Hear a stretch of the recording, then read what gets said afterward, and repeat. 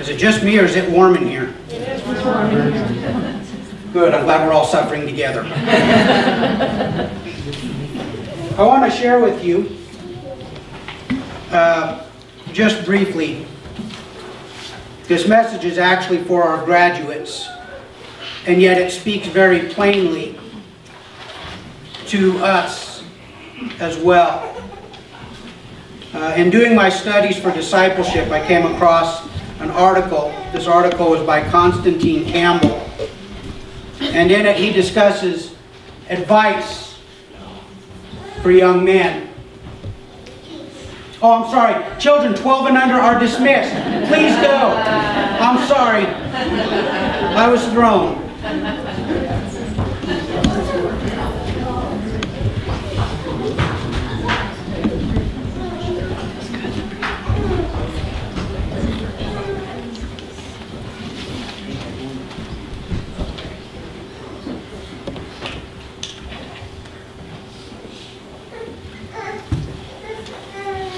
So I'm going to share this speaking specifically to Caleb, to Nathan. But I want you all to pay attention to hear because this advice, these instructions apply to us all. Number one, find your identity in Christ. Let your identity rest in Christ. The world has broad brushed finding yourself. But without, your, without Christ, yourself is lost.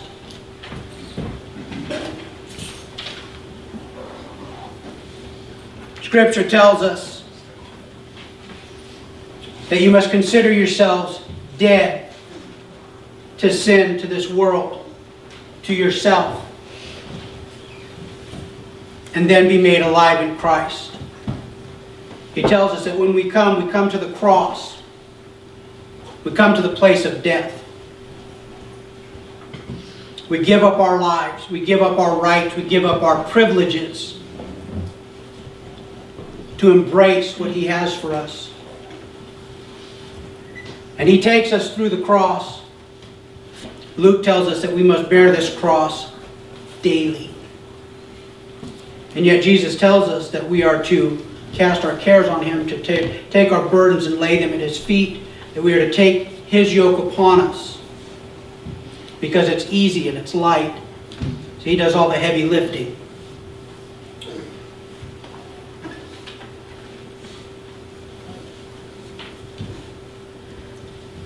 I want you two young men to know how deeply loved of God you are. You both have family. You both have grown up in this church. We know that you are loved by your family, but the love of God so far supersedes that. Not just because of the cross, but because after the cross, after his son resurrected and ascended to heaven, he sent his Holy Spirit to draw you to him. And he has sealed you with his Holy Spirit unto himself. You are His. Scripture says you are co-heirs with Christ. That now, because of God's Spirit living in you, you have the right to call Him Abba Father. You are one of the select that God has chosen. Find your identity in Christ. Root yourself in Him. The paths you walk will take you many places, many experiences, many encounters. Each of these will in some way shape you. But at your core, at your root, at your identity, who you are, let Christ reside. Have a plan to grow in maturity. Don't just expect that as you get older, you will grow up. No, you just grow older. They say that bad experience and bad judgment brings wisdom. I disagree. Any fool can learn that fire is hot by putting their hand in it. But it takes a wise man to learn from somebody else. It takes a wise man to know, hey, don't touch the fire because it's hot. Have a plan. Look to those around you that you admire, that you esteem in the faith. Set them as an example before you. Paul says, follow me as I follow Christ. See, that brings me to my next point. I'm going to kind of share these two together. Friendships. Set yourself in a safe place with your friends. I would encourage you, seek out two, three men, men of God.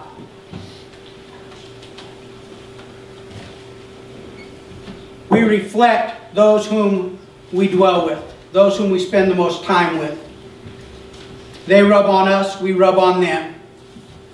And I would encourage you, find a close friend that is stout in his faith, that is unmoved in his faith, someone that you can share with, that you can be open and honest with, that you can share your struggles. I want to caution you.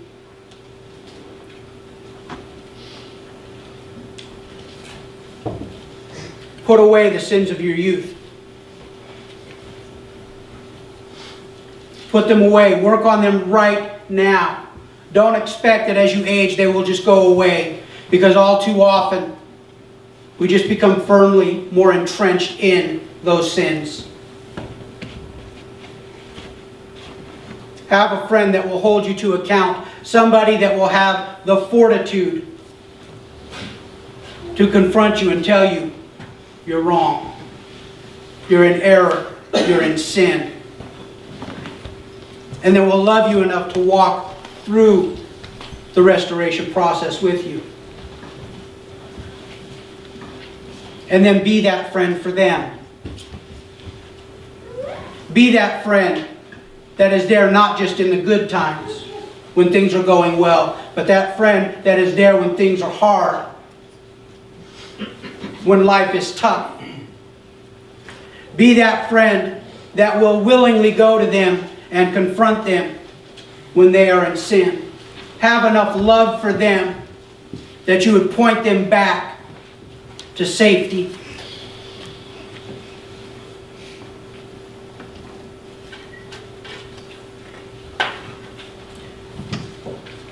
Another piece of advice I would share with you.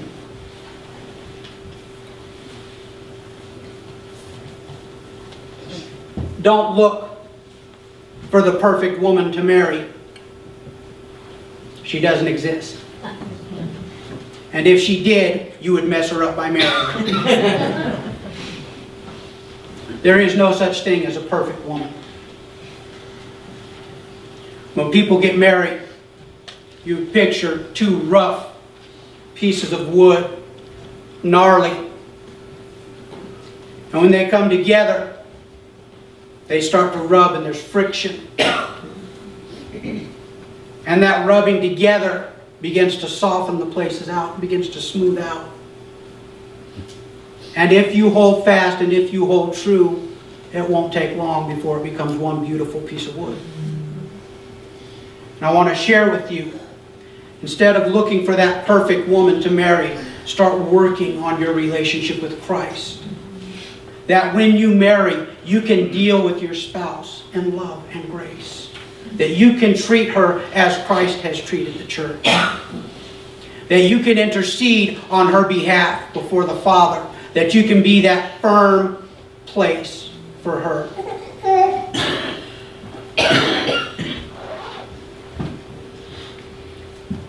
Scripture says that husbands are Christ, the Christ figure to their wives as the wives are the church figure. And I want to share with you. It says that you are to lay down your life for your wife. Yeah, we like to think of that as diving in front of the bullet. But I want to tell you, it's in the day in and the day out. It's in the little things. It's in sacrificing your will, your desires, to be that man of God for her that she needs. And by extension, to be that man of God that your children will need. Set your hearts before God. Allow Him to mold you, to shape you, that you might best bless your future wife.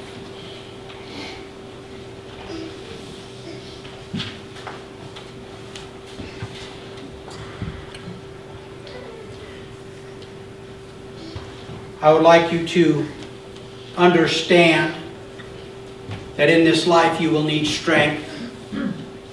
But it's not the strength that is braggadocious, that's, that's a bragger, that is self-exalting.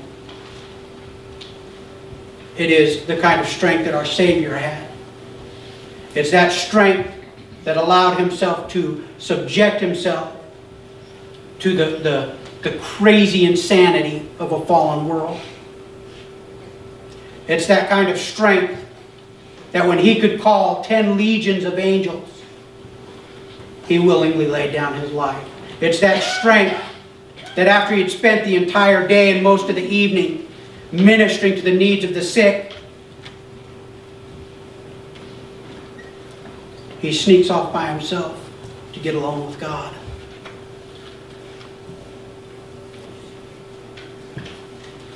You need to learn to be meek.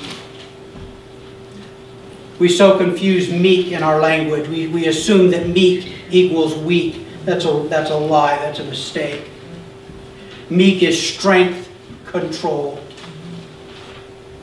Strength with purpose. It does not seek to exalt itself.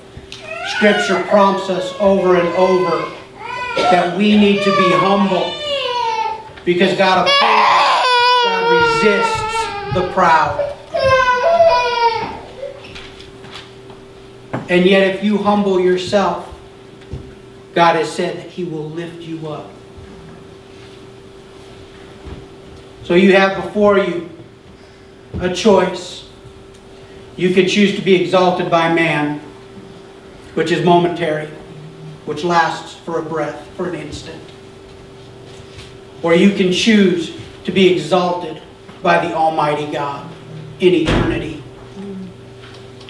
That on that day when you stand before Him, He might say, Well done. You're entering into a phase in our, our culture where you're beginning to move into your own, to become the head of your own house. I would encourage you as the dynamic of your family relationship changes. That you would accept the change, that you would embrace the change. That you would allow God to make you a unique you. That you would open your heart, that you would open your ears. That you would be willing to go where God sends you. That when God calls, you would say, Here am I. Lord, send me. And I would challenge this church as you go throughout your busy life that you would remember these young men, that you would intercede on their behalf, that you would ask our Father to lead them, to strengthen them, to guide them, to use them to accomplish His purposes whatever they would be. That you would be there for them when they have need, whether you know it or not. That's the way a body works. That's the way a body functions. That's how God has called us to be. So church, I've spoken to these two young men. I'm sharing with you, we have got to get rooted in Christ. This world has laid so many traps and snares for us. We think we have it good in America, but I tell you truly, we have a gilded cage. Our traps are feather pillows and good food. A nice, warm, secure house. Bills that are paid. And I tell you truly that oftentimes the devil will lull us to sleep with a lullaby. And we think we're okay when truly we are asleep. So I would challenge you this morning, just as I've challenged these young men. Get your identity rooted in Christ. Set a plan for maturity. Don't just expect that it will happen. Move, act on it, cause it to happen. Work with God to allow it to happen. Be careful in your friendships. The Word tells us in the book of James, chapter 4, that friendship with the world is enmity toward God. You have to pick your friends wisely.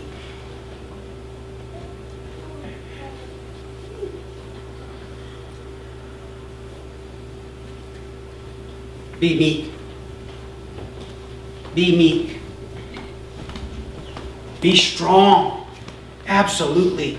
Have strength, but have strength tempered with the mercy, the goodness of our Father that allows your heart to beat in sympathy with those that are hurting and to rejoice with those who are rejoicing.